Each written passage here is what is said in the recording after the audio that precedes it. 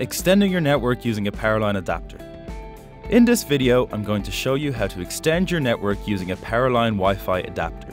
If you have poor Wi-Fi signal strength in parts of your home, this could be the answer.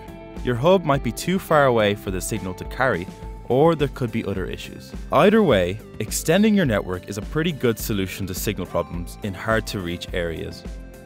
First, you'll need an Ethernet cable. Plug this into the back of your Virgin Media hub. Got it? Good.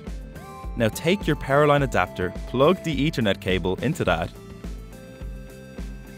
plug it into the wall socket and switch it on. The power light should stop flashing and stay on.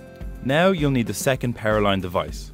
Plug this into the wall, switch it on, and wait for the power light to show. Just so you know, this can take a while. Once both lights are solid, you want to secure the Powerline network. To do this, press and hold the security button for 2 seconds on the first device. The power light will start to flash on and off. You then have 2 minutes to press the security button on the second device. Again, press and hold for 2 seconds. Once the power light is flashing on and off, the two of them will synchronize and once they go solid, the network is secure. The next thing I'll show you is how to set up Wi-Fi on your adapter. First, press the WPS button on the front of your Virgin Media hub.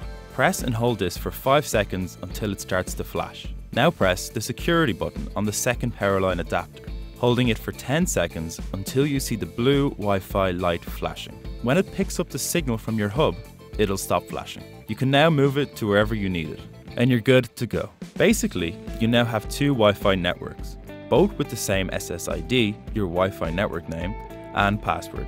Depending on where you are, your laptop, tablet, or smartphone should switch from one network, your Virgin Media Hub, to the other, the Wi Fi extender, so you'll always get the best signal. Happy days! I hope this video helped. Bye for now.